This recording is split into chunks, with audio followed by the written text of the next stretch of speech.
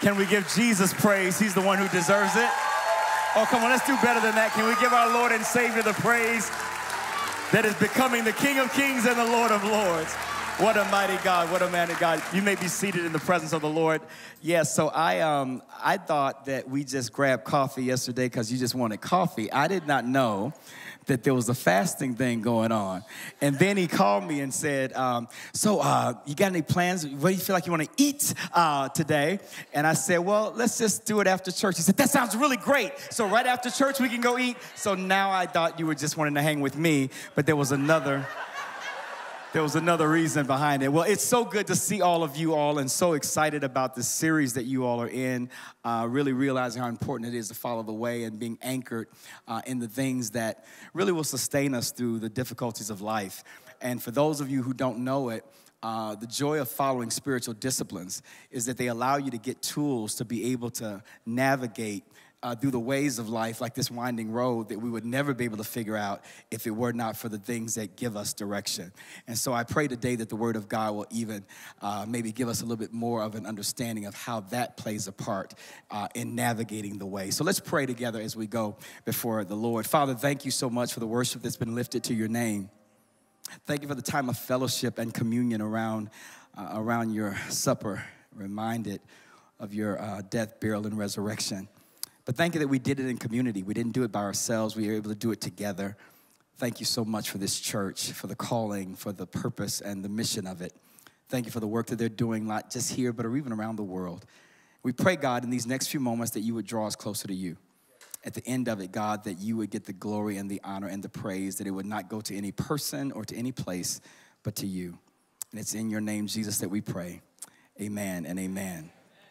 So, the first service, I said that whenever the Lord instructs or leads me to sing a song, it must be Jesus. Um, because I'm not really a singer. And so, as I sing this song that the Lord has instructed me to sing, if I hit a wrong note, uh, please uh, don't make it obvious on your face uh, that I'm, that I'm, so, you know. So, you, you, you know the song? Okay, all right. so, it's, it's, it's a song, it just really talks about being anchored in the Word of God. So, so here it is. Hallelujah. Though the storms keep on raging in my life, and sometimes it's hard to tell the night from day. Still, that hope that lies within, it's reassured as I keep my eyes upon the distant shore, I know He'll lead me safely to that blessed place He has prepared. But if the storms don't cease, and if the winds keep blowing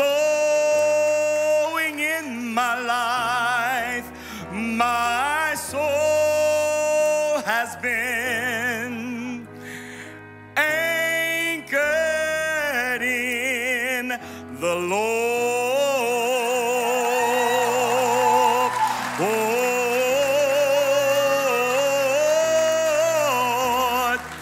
I realize that sometimes in this life you're gonna be tossed by the waves and the currents that seem so fierce. Hallelujah. But I like this.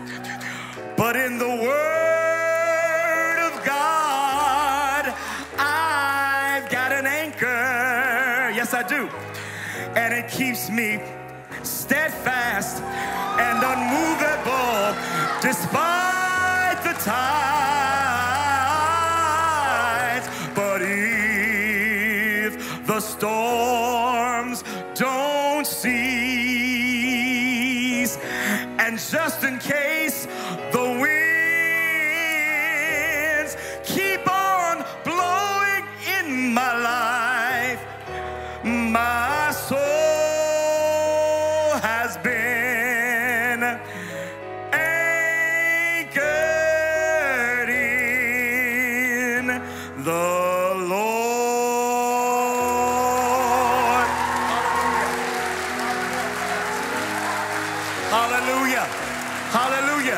Is there anybody's soul anchored in Jesus? Come on, don't play with me. Is there anybody's soul anchored in the word of the living God? Then give him a praise that his word is forever settled. That his word is forever settled in the heavens and the earth. That his word is forever settled in the heavens and the earth. Hallelujah. You may be seated in the presence of the Lord. Well, thank you, God. I didn't know that was going to happen. When I sing on key, that's the Holy Ghost. The Word of God in John chapter 1, beginning at verse 1 through 5 in the Amplified Version, says these words John's Gospel, chapter 1, beginning at verse 1. It says, In the beginning, before all time, was the Word, Christ. And the Word was with God, and the Word was God Himself. He was present originally with God. All things were made and came into existence through him. And without him was not even one thing made that has come into being. In him was life, and the life was the light of men. And the light shines on in the darkness, for the darkness has never overpowered it, put it out, or absorbed it, or appropriated it, and is unperceptive to it. I want to talk from the subject beginnings. Beginnings. How you start a thing is how you will end a thing. Beginnings are significant for so many reasons because if we get the beginning of something wrong, we'll get the end of it wrong. Um, how many of y'all have ever buttoned up a shirt or sweater and you ended up missing a button? Right? It became evident to whole, the whole world that you had missed something, right? Well, you all, when we begin to understand the disciplines uh, that God would give to us as Christians, there are many different things that God will give to us. Uh, one thing is to understand, to, to seek, and to knock, and to ask of, of God, and to, to expect from Him uh, what He would do on the other side of that ask, to have an expectancy of, of seeking God. That's, that's a discipline to lean into the expecting God to do what He would say to do. Another thing that God gives us as a spiritual discipline is an understanding of the importance of the Word of God in the life of the believer. Now, you all, it would seem like this would be an obvious thing that, you know, as a Christian, we would all love the Bible and all love the Word of God. But George Barna, who is a uh, researcher that focuses a lot on Christian uh, kind of trends, and he, uh, this company is pretty much developed around that subject. Uh, in 2021, and when they did their study about uh, Americans and how many of them read the Bible on a daily basis, they said really about one out of six people on a consistent basis in 2021 read the Bible. Uh, so if you just look down your row, if there are about six people on your row, only about one of them are really reading the Bible on a regular basis, all right? So one in six people. Uh, and it's really frightening because for many of us, you all, we would assume that if, if the Bible says that God and His Word are synonymous, that those of us that say, you know what, I want a closer relationship with God. I want a closer relationship with Jesus. And I believe that all of us do. You wouldn't be here, those that are online watching. You're not here because you don't want a relationship with God. Uh, but, but if we want a relationship with Jesus, and if we want a relationship with God, here's the question Do we, What is our relationship with His Word? Because the Bible says in John's gospel that in the beginning was the Word, and the Word was with God, and the Word was God. So when we say, I want a relationship with God, it's kind of safe because uh, that's kind of far out and mystical. Uh, well, I, I, want, I want to know God more. Well, how do you know God? Well, I don't really know. I just want to know Him more, right? But, but if we know that the Word of God and God are synonymous, right? Then to know God more and to be in love with God more or to understand more about God means to know the Word of God more and to be connected with the Word of God more. And the enemy would have most of us to think that the Bible is, is boring and it's not relevant and it doesn't really make that much sense to be that extra with it. Uh, and I go to some churches recent, I'll be telling them I'm gonna read 10 verses or 15 verses and I'll be, oh, God, here we go. And, and, you know, it's so sad because, uh, you know, you don't go to a restaurant and they're like, oh, we have food. Oh, food. I mean, you expect to go to a restaurant and get food, right? And so you would assume that when you come to church, uh, you would get the word of God. But not every place, and that's why I love New Hope because this is a ministry that is committed to the word of God that you would understand it more and grow in that. Amen? And those of you that don't know about this and you're new on the journey you're just investigating, we're just glad that you're tuning in. We're glad that you're here. And so there's no judgment if you don't know this. And that's the whole point. We want you to draw closer to God by drawing closer to His Word. So John reveals something. He reveals to us the nature of God uh, by saying that in the beginning, God, which means that God predated the beginning. The beginning didn't start when God began because there is no beginning to God. From everlasting to everlasting, He's God. So when God started, He started start. uh, th- there was no such thing as time until God said, Let there be. And the moment that so- He began with those words, everything the Bible says, listen, everything that has been made and everything that has been created has been created by the Word of God. And it is being upheld by that Word. Which means then, everything that you and I have ever experienced in the tangible world, it came into existence by the intangible world. Every natural thing that you and I have or ever will experience has come into existence by the things that are unseen. Hebrews says it this way that, that we know that the very worlds have been framed by the world, the word of God. That the things that appear or the things that are seen have been made by those things that do not appear. So here's the question. For those of us that are trying to figure out more about God and how our life can be anchored in the truth of God's word, here's the truth.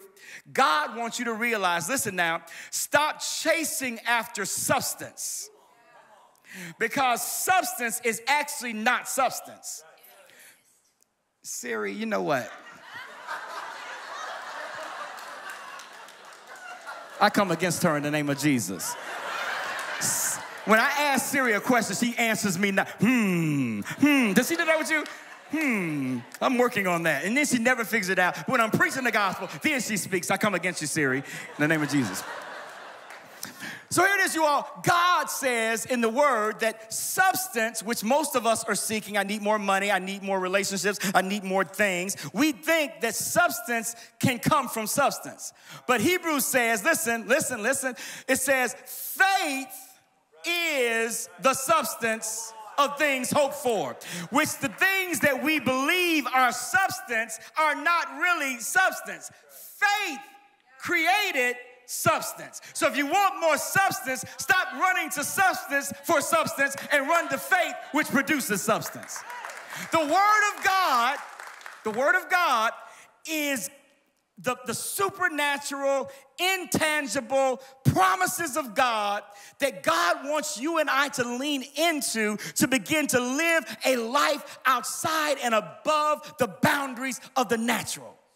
You and I are able to overcome things and we're able to experience things and we're able to, to, to find great relief from things when we begin to trust God's word more than circumstances and more than situations.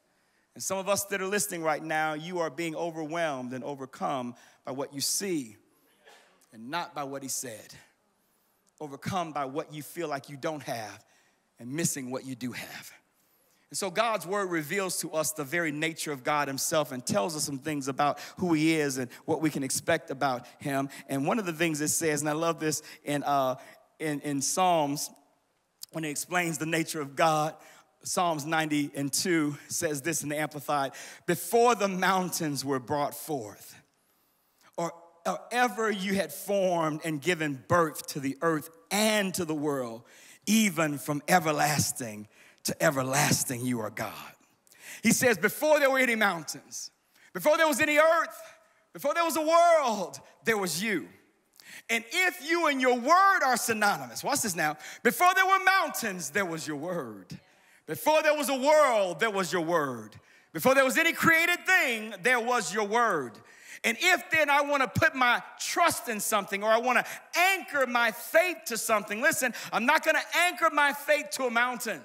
I'm not gonna anchor my faith to a world. I'm not gonna anchor my faith or my life to a relationship, but I'm gonna anchor my life to the Word of God, which is greater and will outlast and outlive any created thing. Amen. Are you hearing what I'm saying to you? So here's the question. If we know then that the nature of God is from everlasting to everlasting, that the word of God is from everlasting to everlasting, why do we put so much faith and confidence and expectation from people? We've made people equivalent to the word of God. You've made your doctor's report God's report. You've made the government's report God's report. You've made what you read in the newspaper, newspaper, that's so old. Uh, oh, I forget how old I am. You, you take what you're reading online and you assume that that is, is the end all. And for many of us, we get discouraged and overwhelmed and upset about the condition of our lives and the condition of the world around us because we placed our faith in what we can see and our faith in what the world says and not what God says. If God's word says something, no matter what you see in the natural, no matter what is happening around you, you got to believe God's word above and beyond that. I don't know who I'm talking to, but I don't know what report you've been given. I don't know what the doctor has said about your condition. It doesn't mean it's not real. But I like Paul and what he said. Paul said, We look not at the things that are seen. It doesn't mean the things that are seen are not there. We just look not at the things that are seen, but we look at the things that are not seen. Wait a minute, Paul. How can I look at things that are not seen if they're not seen? Because those of us that live a life of faith we walk by faith and not by sight. Oh my God. I don't know about you, but I believe that God is all powerful. I believe that God can do anything. I believe that God can heal cancer. I believe that God can bring unity in the body. I believe that God can bring down the division between the ethnicities that have plagued us forever. I believe that there can be a revival of the church. I believe there's hope for your marriage. I believe you can lose some weight. I believe you can go back to college. I believe you can get a degree. I believe you can make a. Is there anybody here that believes that God is able to do exceeding and abundantly above all that we ask?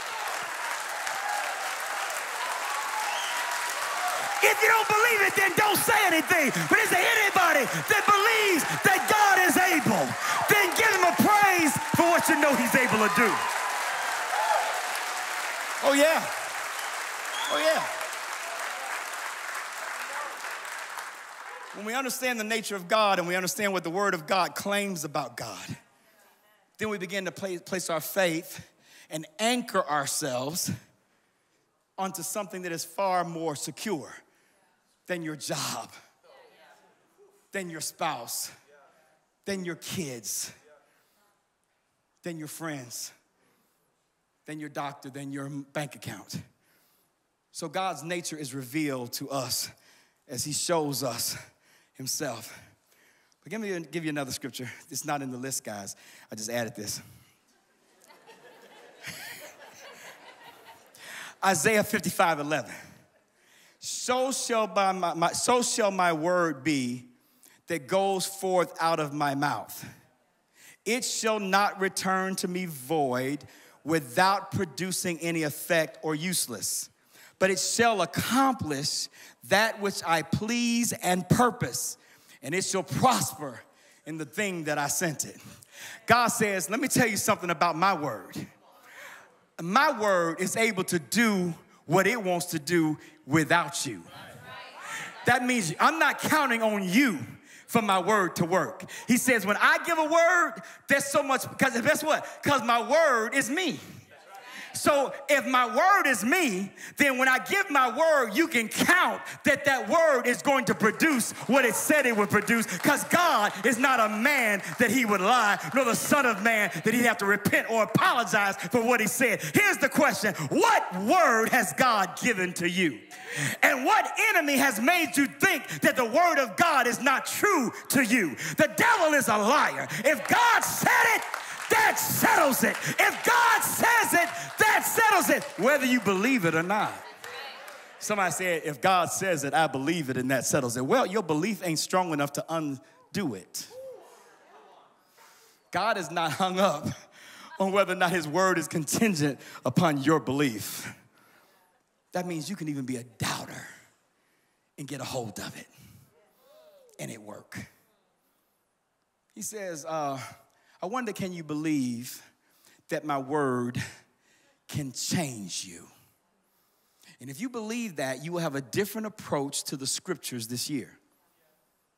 This is the beginning of the year.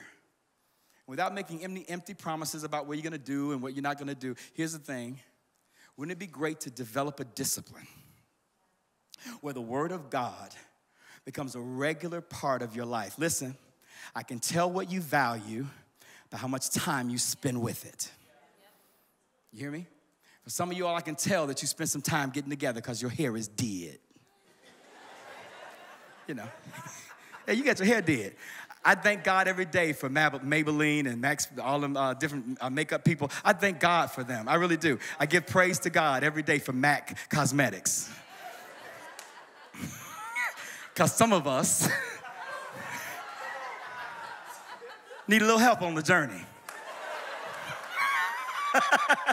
right? Yeah, you do. And you take, yeah, you do. I'm not, I'm not throwing shade. I'm just being, I'm keeping it real. You need a little, little, little foundation, a little help. Because that's important to you.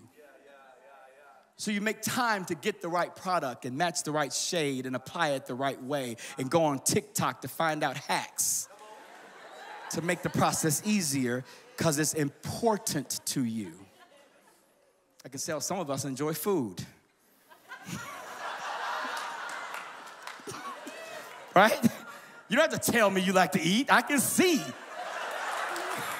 I like to eat, Harvey. I, I'm a prophet. I think you do. And listen, and by the way, if, if you're not laughing, what's wrong with you? That's why you don't have any friends. So here it is, you all. I can also tell how close you are to God by how much time you're spending in His Word. No, no judgment. All of us are on a journey, right? And so, all I'm asking is that if you desire for your life in 2023 to be different, maybe than years past, anchor your life and anchor your disciplines and anchor your behavior in making the Word of God a regular part of your routine. You don't have to, you don't have to wonder, are you gonna eat? You're gonna eat. You don't have to wonder if you're gonna get made up, you got you, a gas, you're gonna do those things because it's necessity for you. Here's the question How necessary is the Word of God to you? If you can ensure that every other box is checked, then make sure that that box is checked too. So, not only does the Word of God reveal to us the character and the nature of God, but it also reveals some things about what God would say that He promises to you. And it's just really one, one text I want to lift up here. It's a very familiar one in Jeremiah chapter 29, verse 11. God says, I want you to get the word so that you can find encouragement in seasons of your life where you're discouraged. Have you ever been discouraged? I want you to find the Word of God and apply it to your life. So, in those moments where you wonder whether or not your life has any genuine direction or any genuine purpose, that you can go to the Word of God and listen, find the truth in it, minus the truth of your circumstance, which is really not the truth at all. And so, Jeremiah 29 says these words from God to you, to us. This is what God says For I know the thoughts and plans that I have for you. You know what God says? I have plans for you.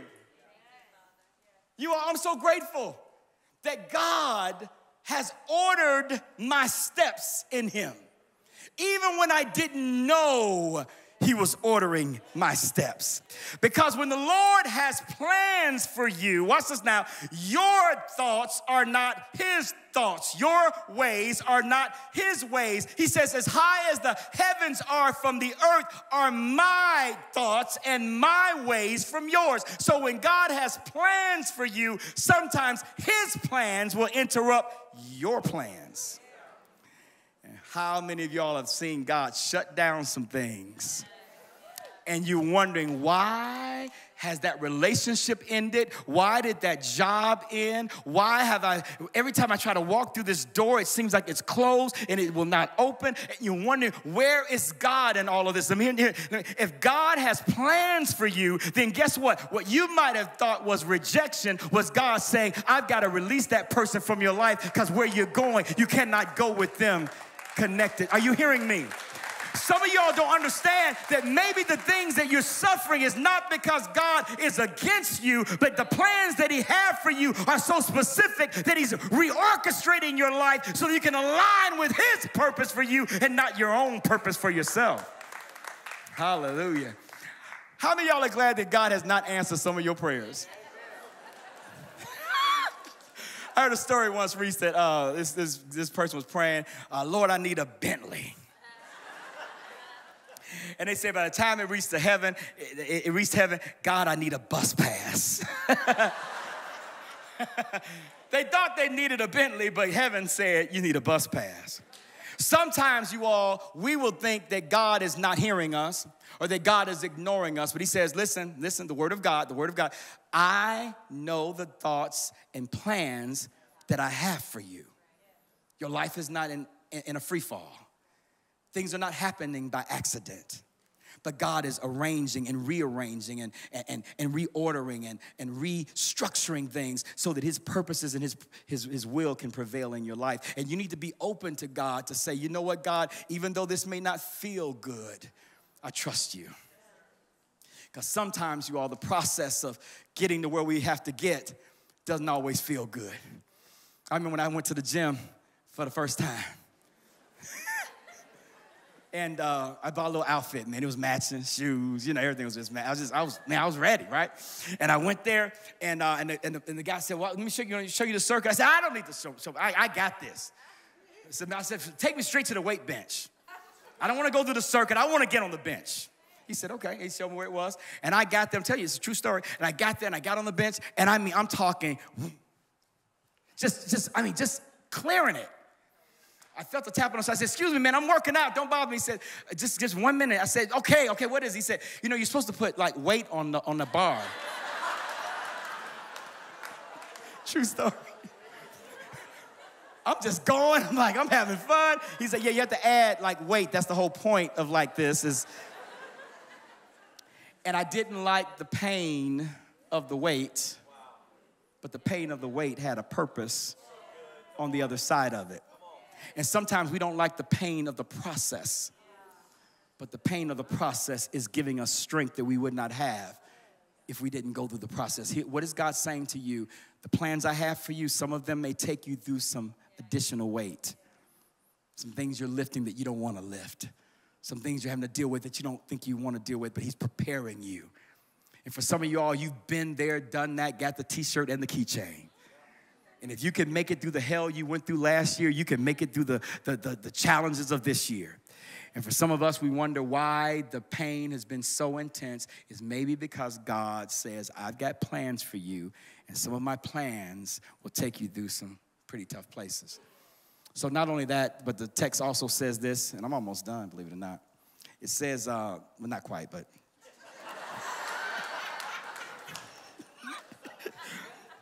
uh, his thoughts and plans are for peace, for, for, good, for good prosperity. It says welfare for, for prosperity and for peace, and not for evil.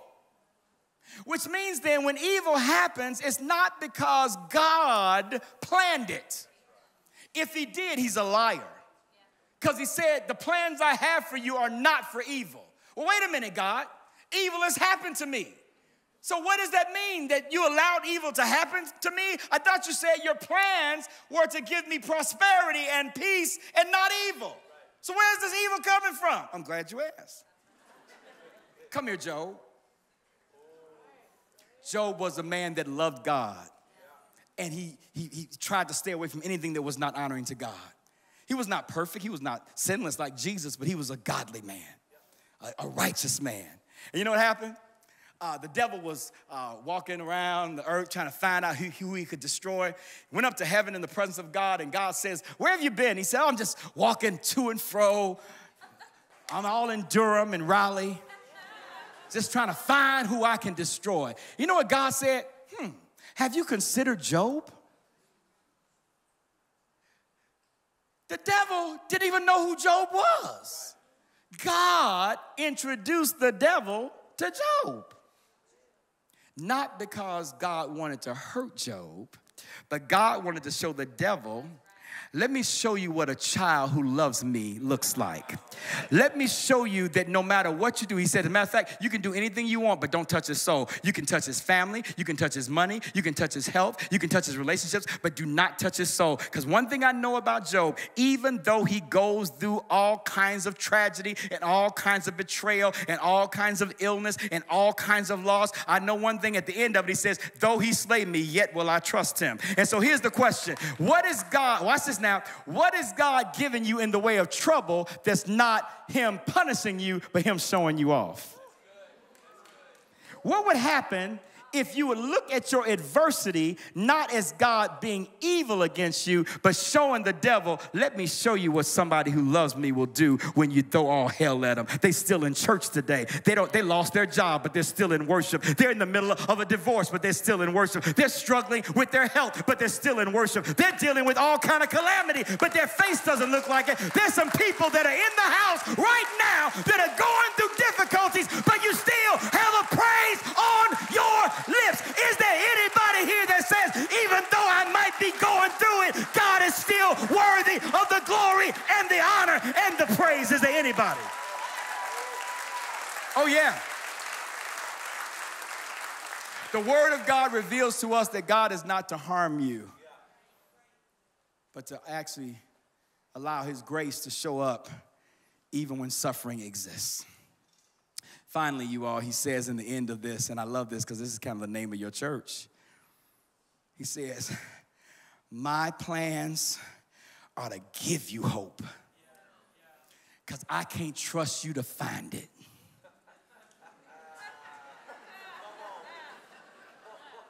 I can't trust you to even know where to locate hope. So when you are at your lowest point, knowing the plans I have for you, I'm gonna give you hope and an expected end. And I pray in the name of Jesus that you would get a hold of the word of God so that when all kind of calamity happens in your life, you will call to remembrance. Wait a minute. I know I'm going through stuff, but what does the Word of God say? The Word of God says God has a plan for my life. The Word of God says God is to help me and not to harm me. The Word of God says He's going to give me hope. I don't feel hopeful, but He promised He would, and I have an expected end. That means you have faith even in the circumstance when it doesn't call for faith because you know what the Word of God says. You all, I stand on the Word for everything. You better hear me. You can't stand on what you don't know. I was in California. I did not know that there was a jaywalking thing. And please forgive me, I'm a man of God. But I got pulled over by the cop as I was walking across the street, and he got ready to issue me a ticket. And he asked me for my driver's license. me being the man of God that I am, I said, Oh, you mean my walking license?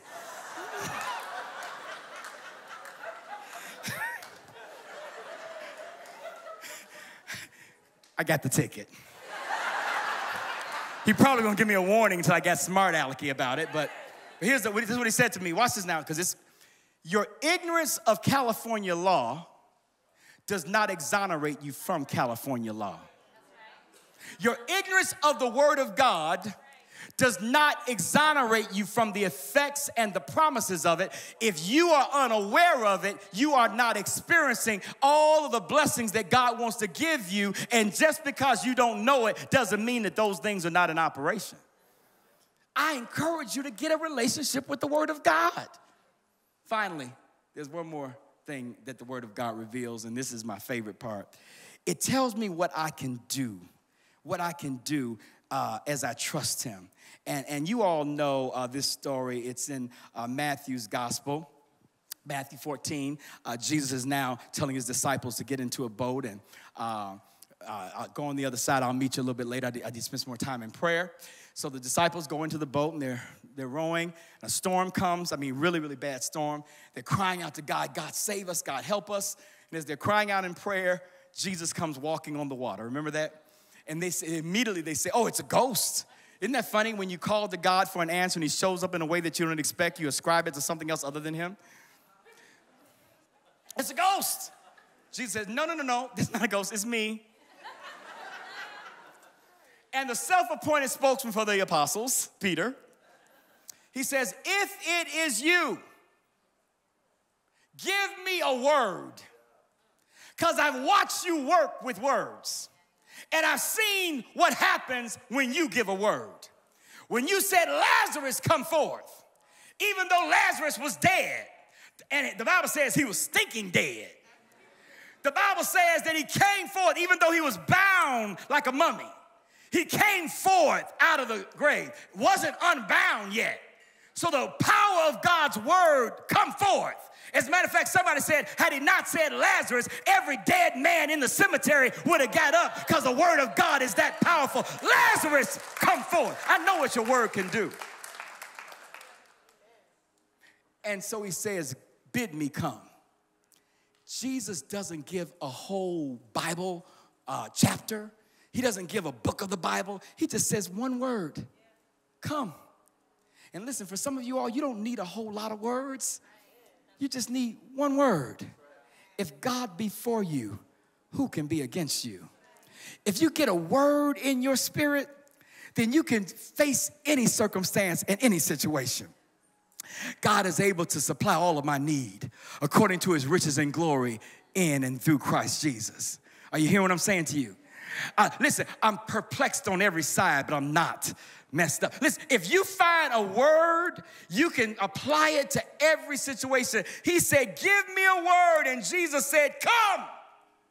And Peter left the boat and stepped out on something that was impossible. He started walking on an impossibility by the word of God. You better hear me now. God is asking you to start living a life of the impossible. Not in your own strength and your own ability, but by and through the power of His Word. And the Bible says He's walking on water. And you know the story. The waves and the winds were blowing, and He saw those. The Bible says He started to sink. In my early years of preaching, you all, I'm, I'm black. I don't know if y'all know that. I'm black and I'm Baptist in the back, so I'm, I'm, Baptist. I'm kind of Baptist, and I was a little Pentecostal. I'm kind of like a Baptist, uh, Pentabaptist. Uh, and so I remember in my early years of preaching that when I would talk about that text, I, I, I used it in, in an improper way. And you've heard this before. As, as, Peter was walking on the water, I would say, mm, and as he looked at the winds and the waves, he began to sink. He took his eyes off of Jesus. Whatever you do, don't take your eyes off of Jesus and focus. You know it wrong. Peter was not walking on the water because he was looking at Jesus. Because the waves were already blocking Jesus the whole time. He was walking on the word that Jesus gave him. The word said, Come, so he came. What caused him to sink was not what he saw, but doubting what he heard. I don't know if the word is able to sustain me with these winds and these waves. So he started to sink. But Jesus, in his mercy, grabbed him by the hand and picked him up, and they both walked back. I think they moon walked back to the boat. Here's the last point What is the word of God telling you? What is the word of God saying to you? For some of you, the word of God is calling you to accept him. That's the word. Come to Jesus. Oh, but I'm a drinker, I'm a smoker. Oh, so are some other people here. We all have sinned and come short of the glory of God. No piece of dirt can judge another piece of dirt. Just because a dirt has a Bible in his hand doesn't mean that they're not dirt. But one, one piece of dirt has Jesus. And we're just inviting you, if that's the word for you to come, to come to Jesus. Others of you that already know Jesus, now God is calling you to, to deeper commitments with Him. Maybe to trust Him in a way that you've never trusted. Maybe to overcome your depression by looking at your circumstances and not looking at what His Word says. Maybe He's calling you to live a life of faith above a life of fear and doubt and unbelief. For others of you, He's calling you into service in deeper and more meaningful ways. Wouldn't it be awesome this year at New Hope that those of you that God is calling to serve Him in some significant ways, listen, would put yourself out of the equation and what you can't do. And this is what I'm struggling with. And, Pastor, I still am on my journey and I don't think I can be used on my journey. Please, if that is the reason why we could not serve God, none of us would be serving God. We're all on a doggone journey. So bring your broken self and serve at the door broken. Because I promise you, it'll mean more to somebody to meet another broken brother or sister at the door than somebody that's not going through. Imagine the gifts in the marketplace that you have, bringing them to the kingdom. And so, New Hope, as I end this message, as we anchor ourselves this year and figure out how to follow the way, let the Word of God be the guide that leads you along the path. Let the Word of God be the thing that anchors you when everything else causes you to be all over the place. Let the Word of God remind you that God is for you, and if God is for you, nobody can be against you.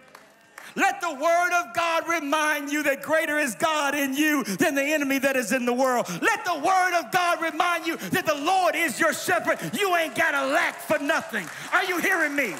When your mother and father forsake you, he will never leave you. He will never forsake you. Lo, he'll be with you always, even to the end of the age. Let the word of God be your anchor. Is there anybody ready to see a blessed year? Then give God praise. Give God praise. Give God praise. Give God praise for his eternal word.